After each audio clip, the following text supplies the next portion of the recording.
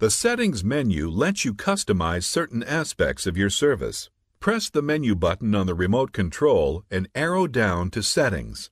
Under the Settings menu, you can change your display settings and your guide settings. You can also change your parental ratings. If you have a DVR, you can make changes to how you want to display certain settings as they relate to your recorded programs. Please refer to the Manage Your Recording section of this tutorial for information on recording settings and the Phone menu section for information on phone settings. Edit Favorites was covered in an earlier section, Working with Favorites.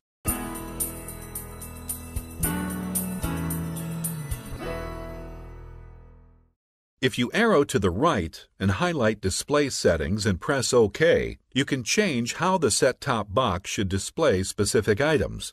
For each option, simply use the arrow buttons to see available choices. You can turn closed captioning on or off, change the audio language and audio format, and change the TV output type.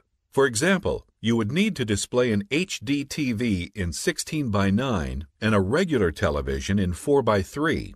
Here, you can also change your component settings, conversion mode, and output resolution. Typically, these are items set at the time of installation and then left alone. Once you have made changes, highlight Save and press the OK button on your remote. If you are afraid you have made changes that you do not want, you can always exit without saving your changes.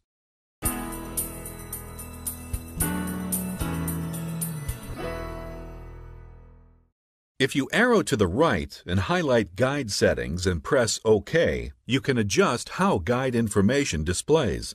The default guide setting determines how you prefer to display the guide when you press the guide button one time.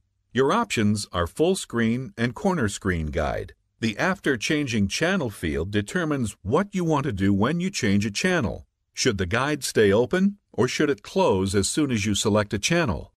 The settings for Remember Channel Filters are yes or no. If set to yes, the service will remember when you have selected a favorites list and keep you in that list.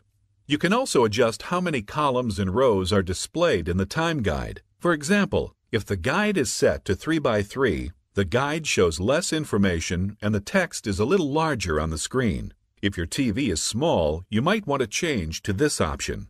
Likewise, you may want to show more information on the screen by setting it to 6 rows and 6 columns, and the guide shows more information per screen with smaller text. It's all a matter of preference. Inactivity timeout refers to how long the service will wait for a key to be pressed before the set-top box times out and closes the menu. Options range from 1 second to 2 minutes to never. If Never is selected, you'll always need to press Exit to clear the screen. You can adjust scrolling behavior so you can scroll through channels in the guide either by channel or page by page.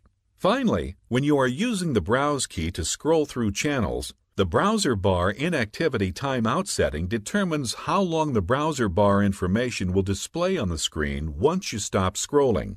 If you are afraid you have made changes that you do not want, you can always exit without saving your changes, or highlight Default and press the OK button on your remote control to go back to the factory-defined settings. The Settings menu also gives you access to options regarding the recordings on your DVR. From the main menu, highlight Settings, arrow to the right, and select Recording to change settings related to your recorded programs. You can group your titles by program within a specific folder by choosing Yes. When viewing your future or recorded program listings with the Auto Expand selection set to Yes, you will receive info about each specific program. If Show Folders is set to Yes, programs will be grouped into specific folders. If Show Folders is set to No, all programs will be displayed individually. When watching a recorded program or viewing your lists of future and already recorded programs, you can choose how long you want the playback bar to display before automatically closing. If Never is selected, you will need to press Exit for the playback bar to close. While watching a recorded program, you can choose to have a skip icon that will display when you press the skip forward button on the remote, or you can choose to display the playback bar whenever you press the skip forward button on the remote. You can also program the skip forward and skip back buttons. These can be set from 1 to 999 seconds. Once you have made your setting changes, highlight Save and press the OK button on your remote. If you are afraid you have made changes that you do not want, you can always exit without saving your changes, or highlight Default and press the OK button on your remote to go back to the factory defined settings.